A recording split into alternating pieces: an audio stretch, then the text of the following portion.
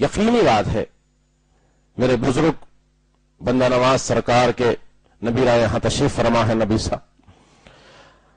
انہوں نے یہ بات فرمائی ہے کہ یہ یقیناً بات ہے کہ ہندوستان کے اندر علماء حق، علماء اہل سنت جید علماء تشریف فرما ہے۔ بالکل حق بجانی فرمایا۔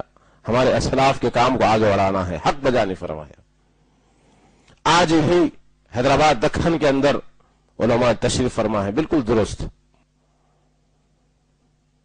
اسلام میرا دیش ہے، میں مستفوی ہوں۔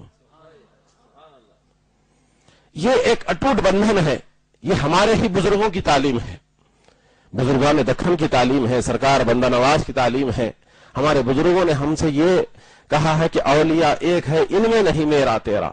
محیدی کا غلام ہو کہ معینودی کا غلام۔ تو یہ جو تڑپ ہے ہمارے اسلاف کی تعلیم جو ہے، اور حضرت ہی کا بار بار جو بات فرمانا ہے برادر مکرم میر کمال الدین علی خان صاحب، قبلہ مدض اللہ علی دامت برکات قدسیہ کا بالکل یہی بات ہے۔ اس سے کوئی ایسا خیال نہ لے کہ بھئی ایسا کیوں کہا گیا؟ نہیں، بلکہ حضرت پیشکش کی ہے، یہاں تشریف لا کر آپ نے بڑی ہمت افزائی فرمائی ہے۔ کیونکہ آپ کا جو مقام ہے، جو جس گھرانے سے آپ کا تعلق ہے، یہ بہت بڑی کرم فرمائی کی بات ہے کہ آپ یہاں تشریف لائے ہیں۔ علی جناب حبیب احمد الحسنی صاحب کا آپ نے حوصلہ بڑھایا ہے۔ منہاج القرآن میں ایک نئی روح ہو ہے، آپ یہاں تشریف لا کر۔ تو آپ کا منشا مقصد یہی ہے کہ کام ہونا چاہیے۔ یہ آپ کے ہمارا ایسا تعلق بنائے رہے گا۔ اللہ سے دعا کرتا ہوں، بزرگوں کی موجودگی میں شاید وقت زیادہ ہو گیا، بڑی معذرت خواہی ہے۔